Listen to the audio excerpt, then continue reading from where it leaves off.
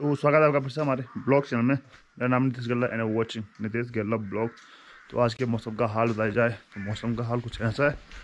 कल तक तो कि बढ़िया धूप खिली हुई थी, और आज देख लीजिए भाई साहब, पूरा मौसम पैक है, सामने बर्फ़बारी हो रही केदारनाथ में, और यहाँ सामने चौथा ही बर्फ़बारी हो रही है। यहाँ कुछ ऐसा सीन है तो अभी जो कि हम यहाँ से जाने वाले हैं घर से, मंदिर की ओर। मंदिर में क्यों जा रहे हैं, अभी वो आपको बताते हैं कि आज से जो कि तीन दिन तक आज से तीन दिन तक मैं मंदिर में रहने वाला हूँ। वहाँ पर क्या करना होता है कि एक गाँव के जो कि एक परिवार की ड्यूटी होती है, तीन दिन तक मंदिर में भूख लगाने की मतलब भूख चढ़ाने की। तो आज ड्यूटी हमारी है। आज से तीन दिन तक मैं मंदिर में रहने वाला हूँ। भोग का सामान रहता है मतलब जो चावल रहता है, वो जो कि हमको मंदिर तक लेके जाने होते हैं। वो पंडित जी को सौंपने हैं, वहाँ पे पंडित जो वहाँ पे खाना बनाते हैं।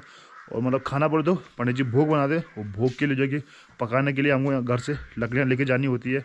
पंडित जी वहाँ पे खाना खाते हैं, दाल और सब्ज़ी वो लेके जाना होता है। जो चावल रहता है, वो भगवान को भूख जाता है। बाकी जो है कि हम लोग खा देते हैं वहाँ पे। जो बचा हुआ रहता है, वो हम लोग खा देते हैं भूख का। और पंडित जी भी वहीं पे खाते हैं तो दाल दूल बनानी होती है तो वहीं पे बनाते हैं।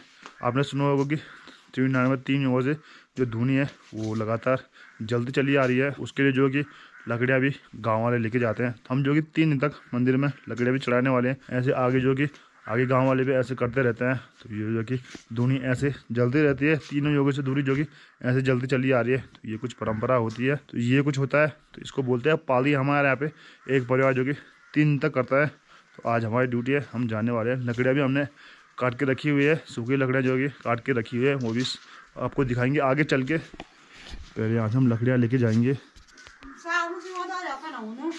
शाम दो तो जो गौशाला में रखे हुए हैं लकड़ियाँ गौशाला में रखी हुई है। यहाँ पे हरी सब्ज़ी और यहाँ से दाल लेके जाऊँगा मैं। तो ये रखिए लकड़ियाँ मंदिर में भोग बनाने के लिए। और इसमें रखते हैं हम अपनी सब्ज़ी हो गए और दाल हो गए और इसको लेके चलते हैं मंदिर में। जो कि जो भोग के बर्तन है, वो मैंने ला के यहाँ पे रख दिए हैं। और ये जो कि बिना जूतों के लाने होते हैं, बिना जूतों के ले जाने होते हैं। अभी नीचे आपको बर्फ़ दिखा दूँ कितनी बर्फ़ में आया हूँ मैं। हाँ हाँ। ये देखो ब्लैक आइस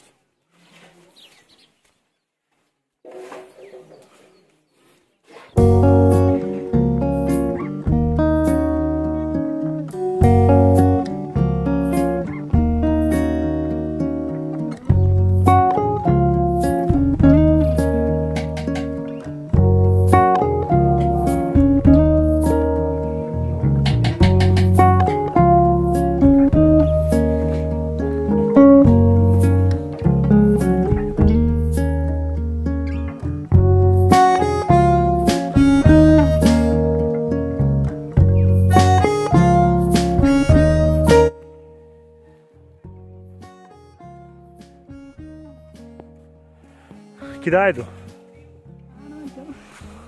दियो ना इधर किचन में दर।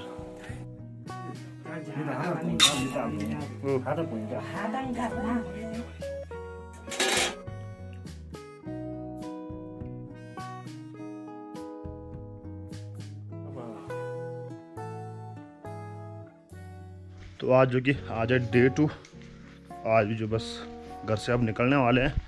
और कल रात को जो बारिश हुई है, बहुत खतरनाक वाली, बहुत तगड़ी बारिश हुई है। और जो बादल ऐसे गरज रहे थे रात को, क्या ये बताया जाए। और सामने भी बर्फ़, बर्फ़ गिरी है क्योंकि मैं शाम को बता रहा था। यहाँ पे देख सकते हैं आप, यहाँ तक पूरी बर्फ़ आई हुई है। ये सामने सामने सामने सामने। यहाँ से और यहाँ ऊपर तक। अभी चलते हैं फिर मंदिर में। वहीं कार्यक्रम शुरू करते हैं। जो बर्तन रहते हैं, पहले उनमें मिट्टी लगानी होती है। उन्हें बनता है भूख तो पहले उनमें मिट्टी लगाते हैं। पंडित जी उसके बाद जो कि चूल्हे में रखते हैं उन पर भूख बनाते हैं। सबसे पहले हमको वो काम करना, सबसे पहले वही काम है कि बर्तन जो है हमको मिट्टी लगानी होती है। उसके बाद जो पंडित जी का काम रहता है सारा, फिर हमारा काम रहता है फिर लास्ट में जो बर्तन उठा के, जो मतलब जो भूख भगवान को चढ़ गया, जो हम लोगों ने खा दिया, उसके बाद वो बर्तन धोने होते हैं। बर्तन भी हम ही धोते हैं। ये कुछ काम रहता है। फिर अगले दिन वही प्रोसेस शुरू करनी होती है और लकड़ी चढ़ानी होती है मंदिर में। कल दिखाने का टाइम नहीं मिला। अगर आज टाइम मिलेगा तो आज दिखाएँगे। नहीं तो आने वाले ब्लॉगों में आपको दिखाएँगे। तो जिन बर्तनों की हमने लिपाई पुताई करनी है, वो एक ये रहा, एक ये रहा और एक ये रहा। इन दोनों में बनता है चावल मतलब भूख के लिए। और इसमें बनती है दाल। इसकी लिपाई पुताई करते हैं और फिर ये दो पराते जो हैं, वो ऊपर लेके जाते हैं। इन बीजों की भूख आता है, कच्चा भूख, ऊपर से फिर भूख यहाँ तैयार होता है। जो कि मंदिर में जो खाना बचा हुआ था, जो भोग बचा हुआ था, वो लेके जा रहे हम घर इस पर घर में जो कि अगल बगल पड़ोसी को देना होता है वो। वही ठीक घर जा रहे हैं।